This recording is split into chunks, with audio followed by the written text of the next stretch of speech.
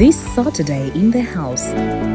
Secondary schools with most MPs in Parliament. Meet Jonathan Ebwalu, MP who locked Soroti's doctor in office. What does MP's oversight role entail in a democracy?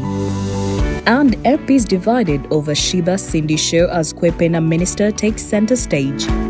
Get your copy now or subscribe to www.epapers.visiongroup.co.ug to read online.